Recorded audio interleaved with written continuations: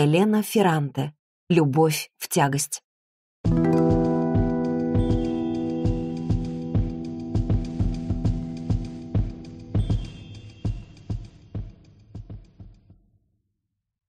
Моей матери. Глава первая. Мама утонула ночью 23 мая, в день моего рождения, у берегов морского поселка Спаковенто, что в нескольких километрах от Ментурна. Именно здесь, в 50-е годы, когда отец еще жил с нами, мы снимали летом комнату, тесную душную коморку, где и ютились весь июль в пятером. Каждое утро мы с сестрами, тогда еще совсем девочки, глотали по сырому домашнему яйцу и спешили на море, пробираясь через высокий тростник по песчаным тропинкам, поскорее купаться. В ночь, когда погибла мама, хозяйка того самого дома, где мы снимали комнатушку, ее звали Роза, и ей уже перевалило за 60, слышала стук в дверь, но не открыла, испугавшись, что это воры или убийцы. Двумя днями раньше, 21 мая, мама села на поезд до Рима, но так и не добралась туда. Последнее время она навещала меня, по крайней мере, раз в месяц, приезжая на несколько дней. Меня тяготило ее присутствие. Вставала она с рассветом и по своему обыкновению сразу принималась наводить порядок. На кухне и в гостиной не было угла, который миновала бы уборка. Я пыталась снова заснуть, но не получалось. Все тело было напряжено, и казалось, останься я еще на мгновение в кровати, и наверняка превращусь в девочку с лицом, изъеденным морщинами. Потом мама приносила кофе, и я тут же переворачивалась на бок, чтобы не соприкасаться с ней, когда она садилась на край кровати. Ее общительность меня раздражала. Мама заводила дружбу с продавцами, с которыми за 10 лет я едва ли обменялась парой слов. Она отправлялась на прогулку по городу, прихватив с собой случайных попутчиков, перезнакомилась со всеми моими друзьями и болтала с ними о своей жизни, вечно рассказывая одни и те же истории. В ее присутствии я была зажатой и скованной. Замечая, что утомляет меня, она возвращалась в Неаполь, собирала свои вещи и, напоследок, прибравшись в доме, уверяла, что скоро приедет снова. Стоило ей уехать, как я принималась придавать прежний облик комнатам, где мама успевала навести свой собственный порядок. Я оставила солонку туда, где она стояла у меня годами. Возвращала стиральный порошок на его привычное место, раскладывала все в ящиках комода так, как я привыкла, и снова устраивала рабочий беспорядок в кабинете. И запах, отмечавший мамино присутствие, он приносил в дом беспокойство, чуть погодя уходил, как уходит аромат летнего дождя. Часто она опаздывала на поезд, и тогда садилась на тот, что шел следом или на день позже, но я все равно не могла к этому привыкнуть и волновалась. Звонила ей встревоженная. И, услышав, наконец, в трубке мамин голос, отчитывала ее, довольно сухо, впрочем, за легкомыслие. Как так получилось, что она опоздала, и почему не предупредила меня? Она беспечно и нехотя оправдывалась, мол, зачем я сгущаю краски? Что может случиться с ней в ее-то возрасте? «Да все, что угодно», — отвечала я и рисовала в воображении сеть неприятностей, сплетенную специально для того, чтобы она исчезла. Навсегда. В детстве я подолгу ждала, когда мама наконец придет домой, ждала на кухне, прижавшись лбом к оконному стеклу. Вот бы сейчас она появилась в конце улицы, окутанная хрустальным облаком. Я дышала на стекло, и оно запотевало. Мне не хотелось видеть улицу без мамы. Вечерело, и моя тревога становилась до того невыносимой, что по телу бежала дрожь. Тогда я мчалась в кладовку, что примыкала к спальне родителей, и где не было ни окон, ни света, запиралась там и плакала в глухой темноте. Это помогало. В кладовке было настолько жутко, что страх, а вдруг с мамой что-то случится, отступал. В этом черном, затхлом до удушья углу с неистребимым запахом средства от клопов и тараканов меня обступали наваждения, которые на долю секунды словно заволакивали мои зрачки и лишали дыхания. «Вот вернешься и убью тебя», — думала я, будто эта мама запирала меня в кладовке. А потом, едва заслышав в коридоре ее голос, спешила выскочить наружу и подходила к ней с безразличным видом. О той кладовке я вспомнила, узнав, что мама часто садилась на поезд, чтобы ехать ко мне, но так и не появлялась у меня дома. Тем вечером она позвонила. Спокойным голосом сообщила, что не может мне ничего рассказать. Рядом с ней человек, при котором она говорить не станет. Потом рассмеялась и повесила трубку. Меня охватила растерянность. Я подумала, а вдруг мама просто пошутила? И стала ждать еще одного звонка. Несколько часов кряду я ломала голову над происходящим, напрасно сидя у телефона. Миновала полночь, и я позвонила своему другу полицейскому. Он попытался успокоить меня. Волноваться ни к чему, он попробует что-нибудь выяснить. Прошла ночь, а от мамы все не было вестей. Она ведь собралась ехать ко мне. Вдова Деризо, ее ровесница, с которой мама то была крайне любезна, то враждовала, сказала мне по телефону, что проводила ее на вокзал. Пока мама стояла в очереди за билетом, вдова сходила купить ей бутылку воды и журнал. Поезд был переполнен, но маме все-таки удалось найти место у окна. Вокруг сидели сплошь военные, ехавшие на побывку. Мама с вдовой попрощались, наказав друг другу беречь себя. Во что мама была одета? Да как обычно, все, что носит уже целый век. Юбку и синий жакет, стоптанные туфли на низком каблуке. С собой у нее были черная сумочка и потертый дорожный чемодан. В семь часов утра Мама позвонила снова. Я набросилась на нее с вопросами. «Ты где? Откуда ты сейчас звонишь? С кем ты?» Однако вместо ответа она громко, внятно и будто смакуя опрокинула на меня целый ушат крепких ругательств на своем родном диалекте и повесила трубку. У меня внутри все перевернулось. Я снова позвонила другу полицейскому, озадачив его своими путанными фразами, в которые, мешаясь привычным итальянским, хлынул диалект. Он спросил, не замечала ли я в последнее время за мамой особенной подавленности, уныния. Я не знала, что ответить. Наконец сказала, что мама и правда не такая, как раньше. Прежде она была спокойной, уравновешенной, веселой. Пусть даже она часто смеялась без причины и слишком много разговаривала, но ведь для пожилых людей это не редкость. Друг заверил меня, что со стариками такое случается. По весне, когда солнце начинает припекать, они совершают чудачества, каких только фокусов не выкидывают, волноваться нечего. Но я все равно переживала. Исходила город вдоль и поперек, выискивая маму прежде всего в тех местах, где ей нравилось гулять. В третий раз она позвонила около десяти вечера, принялась сбивчиво рассказывать о человеке, который преследовал ее и пытался похитить, завернув в ковер. Она звала меня на помощь, немедленно. Я умоляла ее объяснить, где она находится. Тогда у мамы изменился голос. Она ответила, что лучше мне не вмешиваться.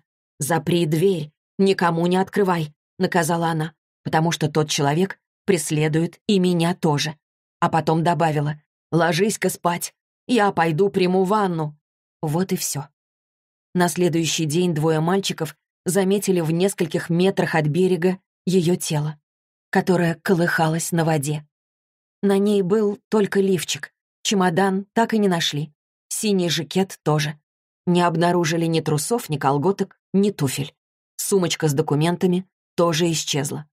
Однако на пальце были два кольца, обручальное и то, какое надевают при помолвке. В ушах серьги, подаренные моим отцом полвека тому назад. Мне показали тело. Приблизившись к этому бесцветному предмету, я подумала, что, наверное, должна скорее прижаться к нему, чтобы не носить на себе клеймо жестокосердия. На теле не было следов насилия, только синяки кое-где. Судя по всему от того, что волны, в ту ночь небольшие, ударяли его о прибрежные рифы. Мне показалось, что вокруг ее глаз пролегли следы густого макияжа. Я долго смотрела на тело чувствуя неловкость при виде этих бледных, посеревших ног, до странности молодых для женщины 63 лет. Тут же неловкость и смущение я испытала, заметив, что лифчик был не из числа тех застиранных и выленивших, какие мама обычно носила, совсем напротив. Под невесомым, тончайшей выработки кружевом чашечек темнели соски. Чашечки соединяла перемычка в виде трех букв «В». Фирменный знак сестер Восси, владелец дорогого магазина женского белья в Неаполе. Когда мне отдали тот лифчик вместе с серьгами и кольцами, я долго нюхала его. У него был отвратительный запах новой ткани.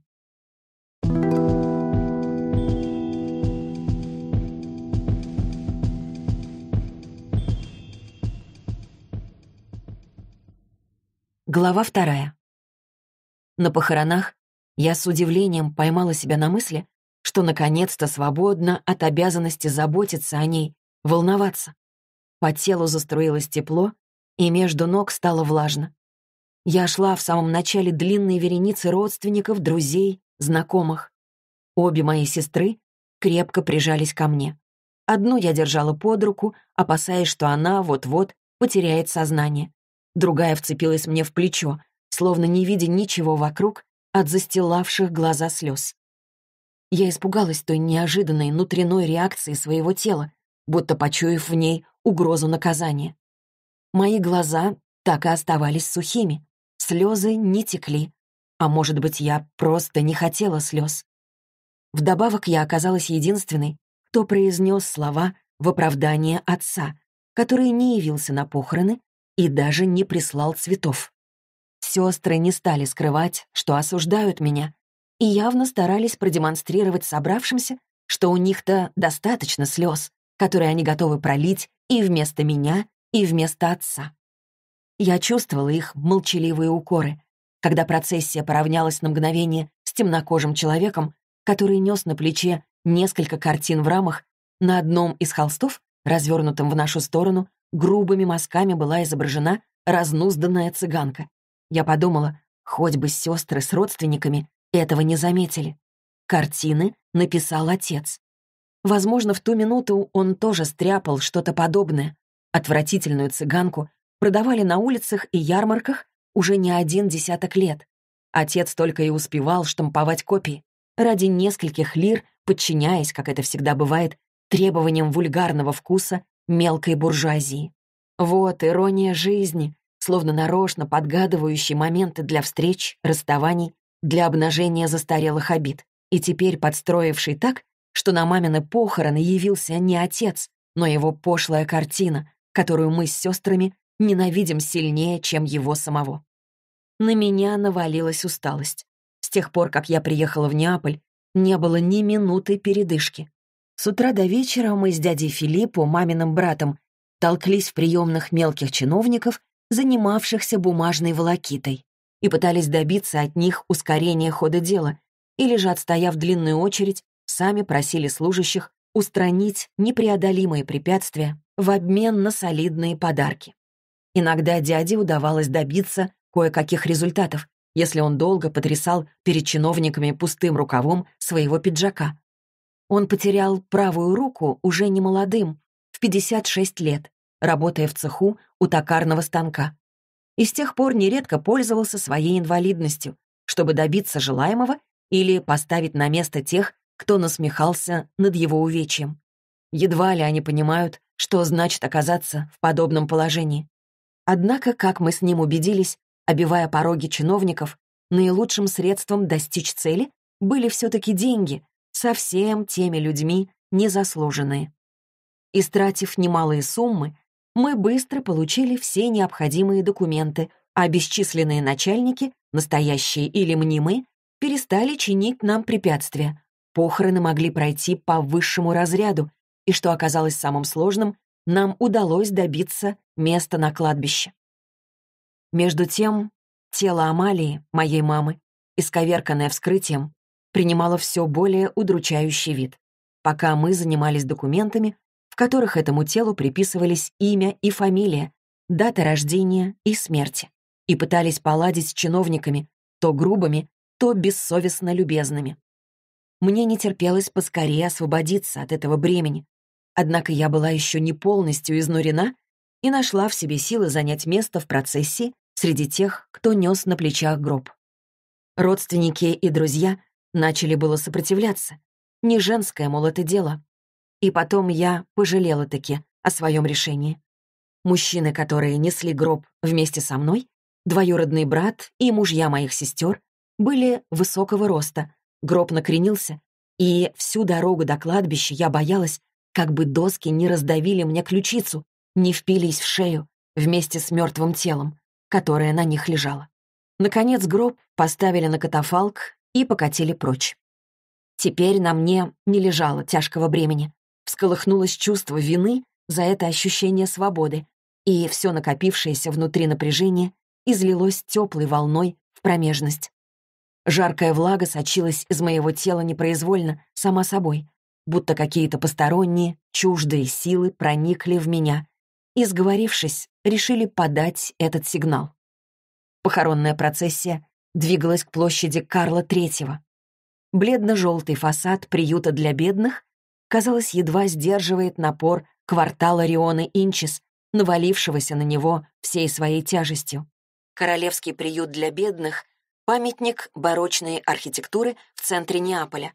Работа над проектом началась в 1749 году по приказу короля Карла III из династии испанских бурбонов, руководил ею архитектор Фердинандо Фуга.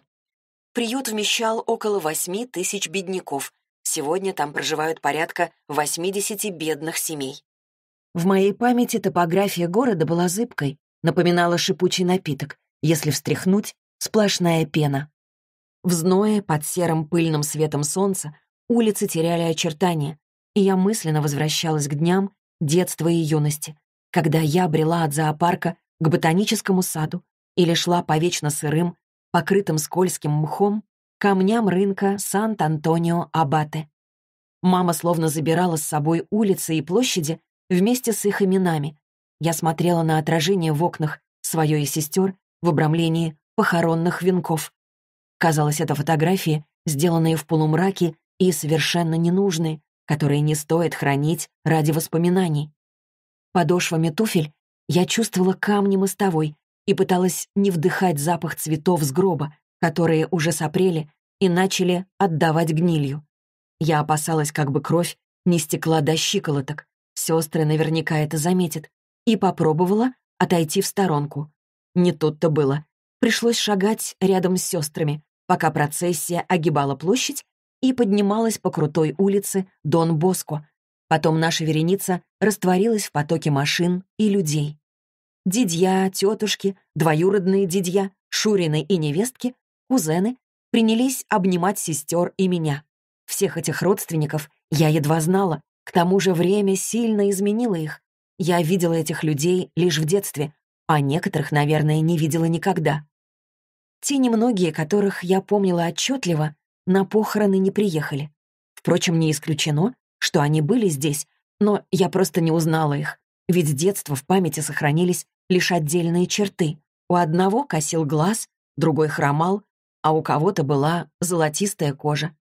Люди, которых я не знала даже по имени, отводили меня в сторону и рассказывали о своих застарелых обидах, перечисляя несправедливости, какие они вынуждены были терпеть от моего отца. Некоторые юноши, крайне любезные и обходительные, безупречные в разговорах ни о чем, интересовались, все ли у меня в порядке, как я поживаю, кем работаю.